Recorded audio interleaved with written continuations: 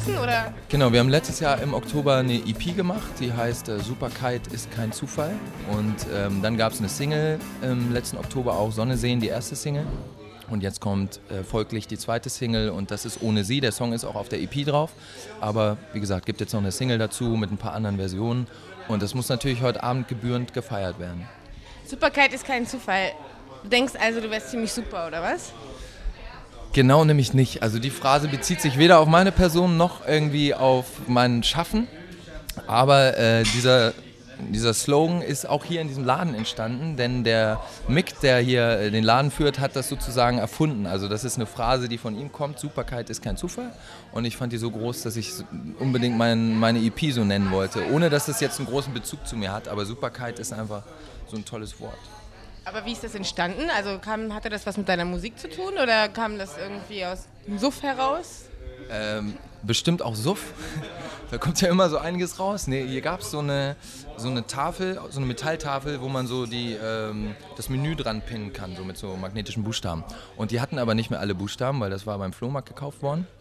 Und dann haben sie versucht, was man aus diesen Buchstaben überhaupt bauen kann. Und da kam dann ist kein Zufall, konnte man irgendwie machen und aus den letzten Buchstaben wurde dann Superkeit gebaut, weil gar nicht mehr übrig waren. Und das habe ich gelesen und dachte so, so heißt meine Platte. Aha. Und ähm, auf diesem Album, ja, Superkeit ist kein Zufall, ähm, war da auch dieser Track drauf, der auf MTV lief? Ja, genau, das war die erste Single äh, Sonne sehen, die lief irgendwie, wir haben ein Video gedreht dazu in Barcelona letztes Jahr ähm, und wir haben natürlich, wie das so ist, alle bemustert irgendwie und haben das versucht hier natürlich bei den äh, Musiksendern zum Laufen zu kriegen. In Deutschland ist es nicht gelaufen. Wie, wie funktioniert das denn? Wie kriegt man denn ein Musikvideo dazu, dass es bei MTV läuft?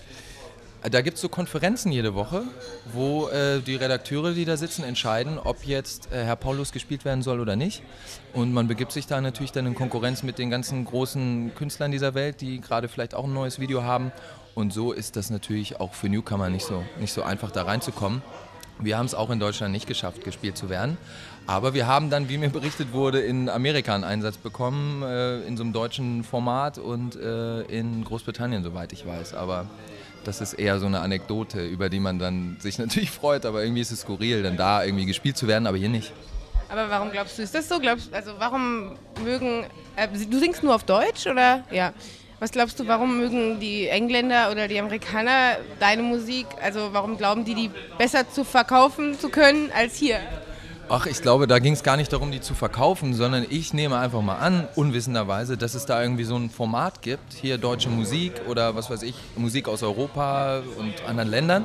Und dass die dann einfach, weil wir sie eben auch bemustert haben, gesagt haben, okay, dann spielen wir halt auch Paulus. Und unter anderem waren da aber so Bands wie Juli oder so, wurden dann in dieser Stunde oder wo es dann um, um deutsche Musik ging, halt auch gespielt. Und wir waren darunter.